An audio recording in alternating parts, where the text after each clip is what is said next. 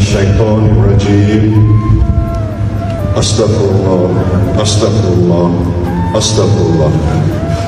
أشهد أن لا إله إلا الله وأشهد أن محمد رسول الله بسم الله الرحمن الرحيم pada tanggal 21 Ogos 2022 dengan kesedaran yang baik, keinsafan serta kepergantungan secara mutlak kepadamu ya Allah serta di dalam rumahmu yang mulia ini aku Muhammad Najib bin Abdul Razak setelah berusaha serta berjuang dengan sebaik mungkin untuk mendapatkan keadilan ke atas diriku di dunia ini.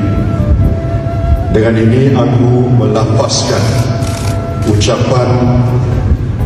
mubahalah Wallahi wa billahi wa tallahi Sejak aku diberikan amanah memimpin negara Malaysia ini dan sehingga ke saat ini Pertama, aku tidak pernah pada bila-bila masa mengetahui secara khusus atau sebaliknya bahawa dana sebanyak 40 juta itu datangnya daripada syarikat CSRC secara langsung